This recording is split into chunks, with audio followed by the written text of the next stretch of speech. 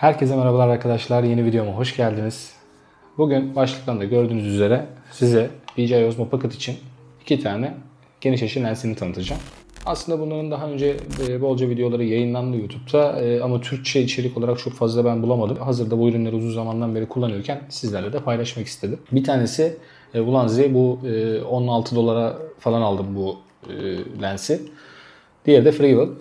Bu da 36-37 dolar civarına falan geldi. Hemen hemen iki katı fark var aralarında. İki lensi de uzun zamandan beri kullanıyorum. Kanalı takip eden arkadaşlar bilirler. Ben e, bütün videolarımı hemen hemen DJI Osmo Pocket'ta çekiyorum. E, başka bir kamera kullanmıyorum. Gayet de memnunum üründen. Fakat e, elde çekim yaparken açısı yetmiyor bazen. Yani kolunuzu çok böyle uzakta tutmanız gerekiyor ya da ekstradan böyle bir tripod tarzı bir şey kullanarak daha uzaktan çekmeniz gerekiyor. O yüzden hani geniş açı olayı birazcık benim için sıkıntıydı. O yüzden de hani ürünleri araştırdım. Ya bulabildiğimde iki tane ürün bunlar var. E, Ulanzi biraz daha şöyle basit bir kutuda geliyor. Şöyle bildiğimiz plastik e, yani birazcık daha dandik bir malzeme. Hani onu söyleyebilirim başlangıçta. Freewell biraz daha böyle düzgün bir kutuda geliyor. Ön tarafı cam böyle. Şu şekilde mıknatıslı bir kutusu var gayet şey ve içinde de ekstradan 3 e, tane daha hani orijinal lensin yanında 3 tane daha lens yeri var. Farklı lensler de aldığınız zaman onları da bu kutunun içinde taşıyabilirsiniz. E, bu kutuda böyle farklı boş lens aralığını başka markalar da kullanıyor. E, lenslerle alakalı ayrıca çekeceğim başka videolar da var. Orada da göstereceğim zaten. Şimdi bu ürünlerin özelliklerine gelecek olursak ikisi de aynı işi yapıyor. Yani sizin görüş açınızı, kameranızın görüş açısını aldığı alanı genişletiyor. Fakat e, tabii ki birisi daha bu işi iyi yaparken bir tanesi biraz daha kötü yapıyor. Tabii ki hani herkesin dediğim gibi bu konularda beklentisi farklı oluyor. Ee, yani bunun vermiş olduğu imkan da hani sağlamış olduğu olanaklar da sizi tatmin edebilir. Hani daha kalitelisini isterseniz bu da tatmin edebilir. Şimdi ürünleri zaten kameraya takıp göstereceğim. Ee, şu an iç bir ortamda olduğum için e, tam ürünlerin performanslarını birebir yansıtamayabilirim malum koronavirüs muhabbetinden dolayı dışarıda hani çok çekim yapmak istemiyorum. Dışarı çok fazla çıkmak istemiyorum. Yani çok fazla değil aslında hiç çıkmıyorum. Şimdi öncelikle Ulanzi'yi takacağım. Ee, bu malzeme kalitesi olarak birazcık daha Freewell'a göre biraz daha kötü. Hani tamamıyla plastik bir malzemesi var. Şimdi şöyle bir takayım ben lensi. Direkt açısını görün zaten. Şöyle taktığım zaman Evet.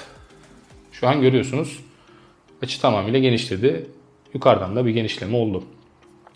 Lanzi'de şöyle bir olay var. Genişletme açısı Freewell'e göre daha fazla. Daha fazla bir alan sağlıyor size. Fakat kenarları çok fazla yuvarlıyor. Ya bu beni çok rahatsız ediyordu mesela. Yani bu açıyı bana sağlıyorsan ben bu açıyı kullanamıyorum. Yani mecburen videonun kenarlarını kesmek zorunda kalıyorum. Bir de daha önceki videolarımda seyrettiyseniz bazı problemlerimde odaklanma sıkıntısı vardı kamerada. Ee, bunu genelde Osmo Pocket'ın yaptığını düşünüyorlardı. Hani Osmo Pocket'ın çünkü başlangıçta e, bu güncellemeleri ilk almadan önce böyle bir problemi vardı. Odaklama olayında bir sıkıntısı vardı, bir yavaşlığı vardı ama onu güncellemelerle bayağı bir iyi hale getirdiler. E, o videolarda benim problemim bu Ulanzi Lens'ten kaynaklanıyordu. E, netleme yaparken tam sizi netleyemiyor. Lens'ten kaynaklı. Öyle bir problem yaşıyordum. Hatta bir tane drone videosu çekmiştim, inceleme videosu. Onu da koyarım şuralara bir yerlere. Orada ya komple blur çıkmışım. Yani tabii haliyle kendim çekimimi yaptığım için ayrıca bir kameramanım olmadığı için ben de göremiyorum. E, o yüzden videoyu maalesef çektikten sonra o şekilde yayınlamak zorunda kaldım. E, Ulanzi'de ayrıca şöyle bir olay var. Dediğim gibi şu an e, stabil bir ortamda olduğum için e, çok fazla onun farkına varamayacaksınız. İnşallah bu lenslerle dışarıda da bir çekim yapacağım. E, şu kenar bölgeleri blurlaştırıyor. Yani görüntüden bayağı bir kayıp yaşıyorsunuz. Yani gene daha önceki çekmiş olduğum görüntülerde eğer onu bulabilirsem, bu arada objektife değil de hani yan görüntüye bakıyorum. Hani tam alanları doğru göstermek için. Dediğim gibi Ulanzi şu kenarları çok fazla blurlaştırıyor. Ya bu dış çekimlerde daha fazla ortaya çıkıyor. O yüzden görüntü kaybını bayağı bir yaşıyorsunuz. Tabii ki fiyat farkına baktığınız zaman biri 16 dolar, biri 35-36 dolar. Yani tabii ki bu tercih meselesi. Günün sonunda ikisi de aynı işi yapıyor ama Tabii ki kaliteli bir ürün kullanmak her zaman daha iyidir. Ulanzi bu şekilde. Şimdi Ulanzi'yi çıkartıyorum. Yine Osmo Pocket'ın orijinal hali. Bunu yerine koyalım. Şimdi bir de Freewell'i takacağım. Bu dediğim gibi birazcık daha kaliteli bir ürün. Haliyle iki katı fiyat farkı var. Bunu da şöyle takayım. Freewell biraz daha kısıtlı bir alan veriyor size. Yani e, Ulanzi'ye göre biraz daha dar kalıyor açıyı. Ama kenarları daha düz olarak kullandırıyor sizi. Ve e, dış çekimlerde kullandığımda şu kenarlardaki Ulanzi'de yaşadığım blurlaşma olayı Freewell'de başıma gelmedi. O yüzden ben bu lensten daha memnunum. E, daha hoşuma gitti. E, özellikle de bunu tercih ediyorum. Ben bunu da almış bulundum ama. E, hatta bir önceki drone videonun, videomda e, vermiş olduğum bir tavsiye vardı. Hani hangi drone ile başlamalıyım?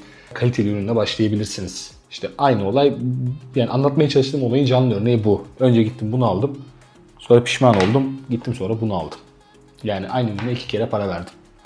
Haliyle 15 dolar kar edeyim derken 15 dolar zarar ettim aslında. Netleme olayında da Freewell'de ben netleme konusunda hiçbir problem yaşamadım.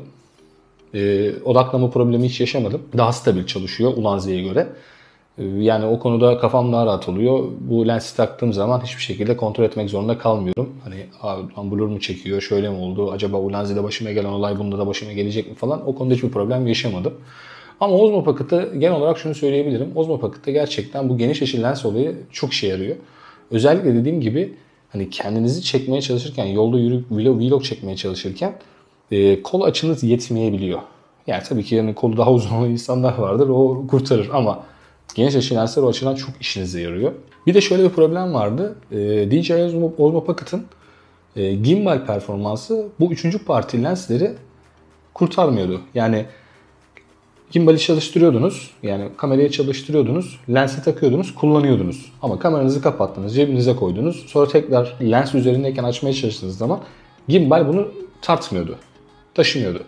Yani açamıyordunuz. Lensi çıkartıp kamerayı tekrar açıp lensi öyle şu şekilde takmanız gerekiyordu. En son güncellemesiyle DJI Osmo Pocket bu problemin de önüne geçti. Gimbal performansını buna göre yani 3. parti lensleri takabileceğiniz hale getirdi. Şu an lensinizi hiçbir şekilde çıkarmadan Direkt lens üzerindeyken kapatabilirsiniz, açabilirsiniz ve sorunsuz bir şekilde kullanabilirsiniz. Bu özellikle çok güzel oldu. Diğer türlü lensi çıkart, bir daha tak, bir daha çıkar, bir daha tak. Anlık böyle hemen çıkartıp kullanmanız gereken yerlerde size bir zaman kaybı yaşatıyordu.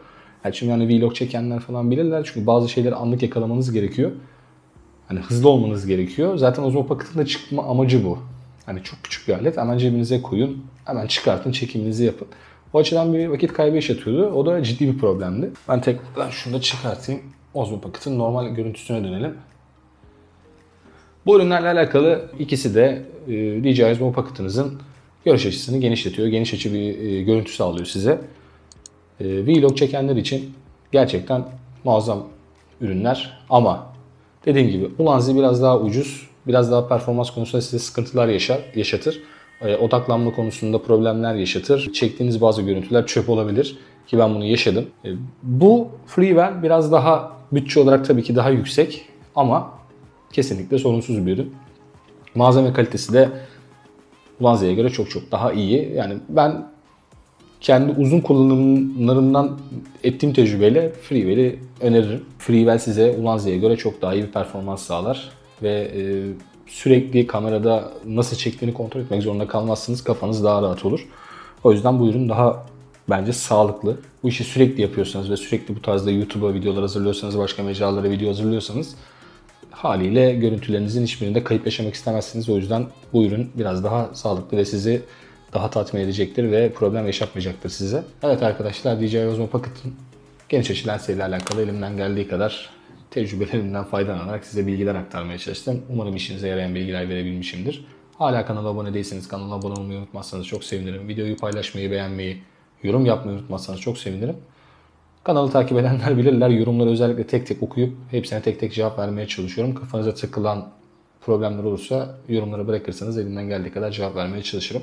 Aynı şekilde Instagram'dan da bana ulaşabilirsiniz. Oradan da DM yoluyla mesaj atan bütün arkadaşlara hemen hemen hepsine cevap vermeye çalışıyorum. Vaktim yettiğince. Bu arada DJI Osmo Pocket ile alakalı çok fazla aksesuar videosu gelecek. Ee, Çok fazla aksesuarım var çünkü. Ee, Tam böyle donanımlı bir şekilde kullanıyorum DJI Osmo Pocket'ı. Kanalı takip ederseniz bu ürünle alakalı bayağı bir bilgi edinirsiniz ve tam performansını nasıl kullanabilirsiniz. O konuyla alakalı da bayağı işinize yarayacak içerikler hazırlayacağım.